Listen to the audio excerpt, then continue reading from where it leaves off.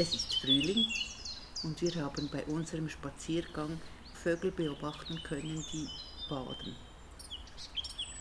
Buchfink, Spatz. Grünfink.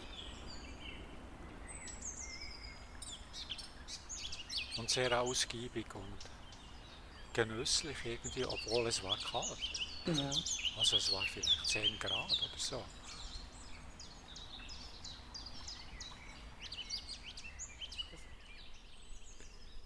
Da sehen wir einen Erdhummel.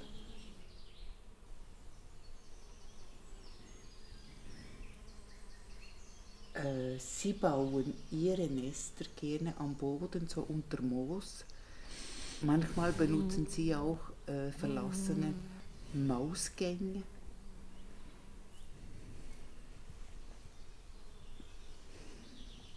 Sie sind nicht wählerisch, sie, sie besuchen fast alle Blumenarten.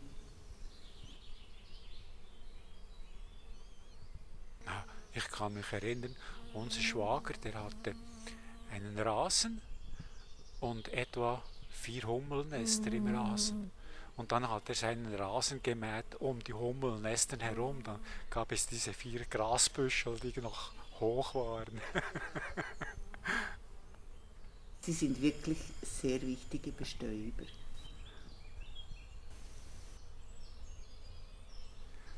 Und das ist ein, Kratzdistelrüssler. der da ganz genüsslich Pollen frisst. hä? Ja, sie, sie werden etwa 4 bis 8 mm lang. Sie legen ihre Eier dann in diese Distelblüten. Schau mal, wie er das schön gehalten hat mit seinen Füßen. hä? Ja. Hier sehen wir den Größenvergleich von einer ja, Biene. Mhm. Keine Aggressionen, kein Futterneid. Aber äh, dem Distelrüssler wird das zu viel.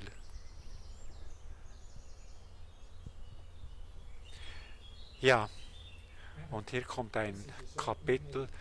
Wir haben mit den Schmetterlingen einen kleinen Vertrag ausgehandelt. Er ist also nicht sehr groß, etwa 1000 Seiten.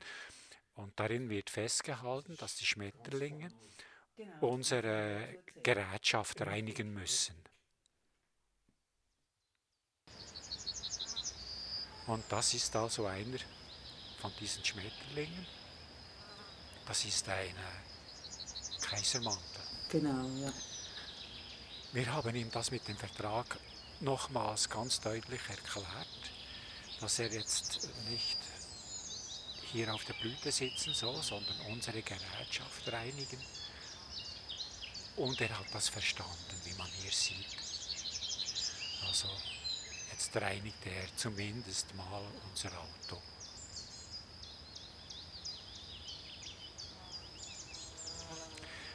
Schmetterlinge sind sehr, sehr unzuverlässige Vertragspartner. Äh, sie trödeln gerne und äh, wir haben hier eine Überwachungskamera eingerichtet.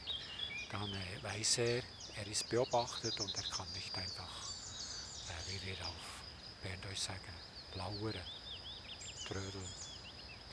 Das ist ein anderer Vertragspartner, das ist ein Ein Landkärtchen. ein Landkärtchen. Auch ihm mussten wir wieder alles erklären. Also, sie sind irgendwie etwas widerwillig, widerspenstig, obwohl wir einen Vertrag haben. ne? Auch er hat schließlich verstanden und hier putzt er ein, äh, unsere Verlängerung von der Makroschine. Er macht das schön.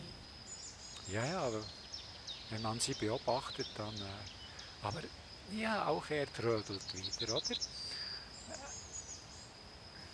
Die Hand war interessanter. Ja, ich, ich denke, er hat bei mir.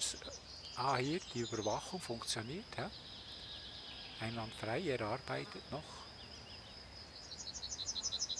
Und hier das äh, Landkärchen hat es auch verstanden und ist jetzt beim Fotoapparat. Aber die, na, die Scheibe vom Sucher reinigt er nicht. Und das wäre auf Seite 782 Absatz 2 wäre das ganz genau beschrieben. Äh, sie sind etwas widerspenstig, diese, diese Schmetterlinge.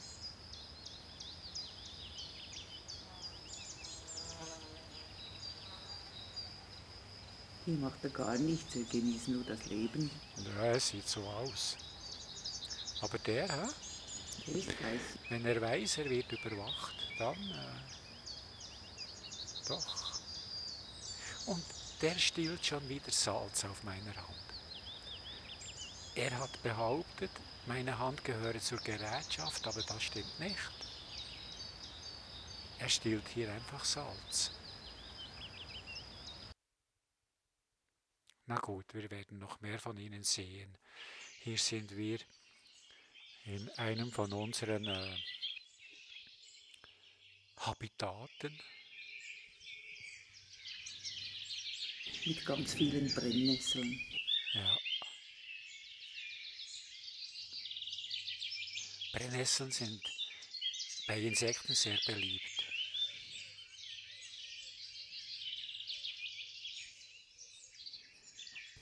Und dies ist eine Prachtwanze. Sie ist wirklich prächtig. Ja? Sie ist sehr schön. Sie sagen, sie sei weit verbreitet, aber wir haben sie nur einmal angetroffen. Ja. Sie hat auf dem Rückenpanzer ein Hexagon. Ne? Es sieht so aus, ja. Gut, andere haben ein Herz, ein kleines Herz. Sie ernährt sich von Insektenlarven oder von Blattläusen. Aber sie, sie kann auch Pflanzensaft nehmen. Sie ist etwa 9 bis 12 mm lang.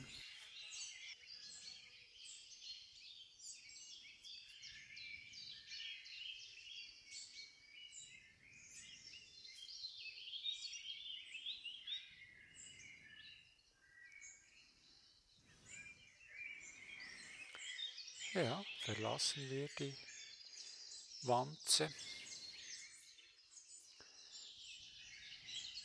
Das ist unser Weg in die Zukunft. Und auf der linken Seite sehen wir das Schild. Das wird kaum beachtet, denke ich. Das ist eine Blindbremse. Die sind bei uns wirklich nicht beliebt, weil sie saugen an Rinden, Pferden und eben auch an Menschen. Aber das Weibchen braucht das Blut von, von Säugetieren, damit die Eier sich entwickeln.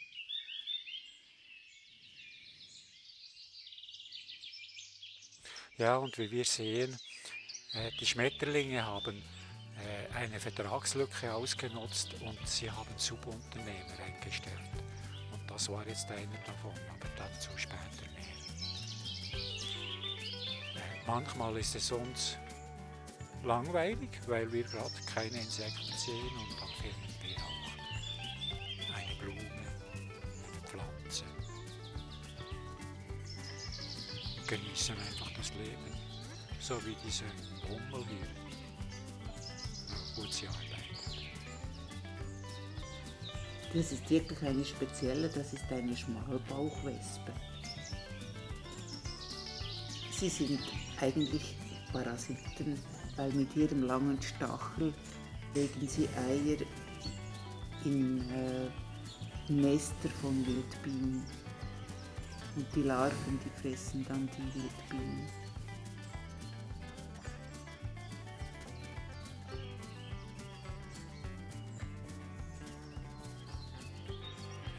Wie ein Außerirdischer, mit einer langen Lanze.